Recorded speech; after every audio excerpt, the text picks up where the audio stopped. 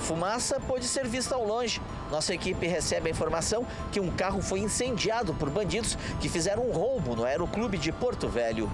Chegamos agora aqui na região do condomínio Morar Melhor, aqui na zona sul da capital, bairro Aeroclube, aonde no Aeroclube, que fica aqui nas proximidades, um piloto estaria numa aeronave e lá foi interceptado por quatro elementos que estavam neste carro. Este carro é um veículo Pajero, eles estavam fortemente armados. De acordo com informações, não se sabe ainda o que teria sido levado desta aeronave, se dinheiro, joias ou outros objetos. Nisto, os bandidos abandonaram o carro neste local, fugiram, mas antes colocaram fogo aqui neste veículo.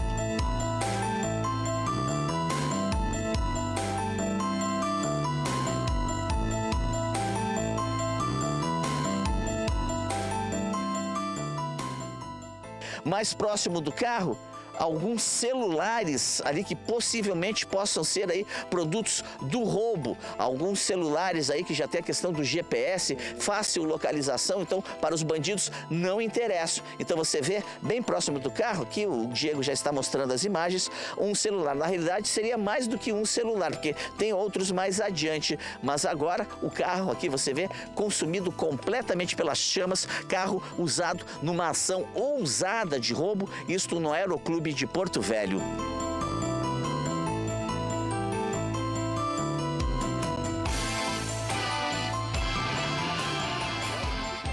Ao todo, foram sete criminosos que participaram da ação de roubo a passageiros que chegavam de um voo do estado do Amazonas. Armados com fuzis, metralhadoras e pistolas, eles dispararam tiros. Os bandidos renderam os cinco ocupantes do avião e começaram a pegar as bagagens e objetos de valor.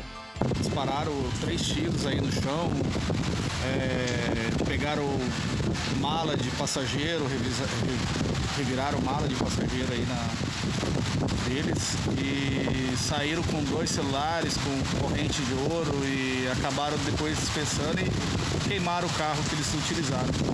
Houve troca de tiros aqui? Negativo. Não, ninguém estava armado, ninguém reagiu. Né? Mas eles chegaram a atirar, parece, né? Sim, sim.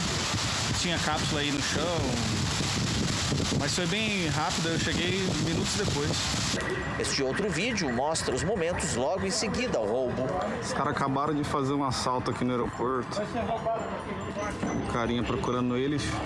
Pegaram em sete aqui, botaram fogo no carro lá embaixo lá que eles utilizaram. Se tivesse chegado 10 minutinhos antes, tinha passado esse apuro aqui também. Os caras estavam esperando o avião chegar aqui. A polícia estão atrás aí já. A Polícia Militar fez um patrulhamento, mas até as últimas informações, ninguém foi encontrado. As investigações estão em andamento. Com imagens de Diego Freitas, Paulo Mota, para o Balanço Geral.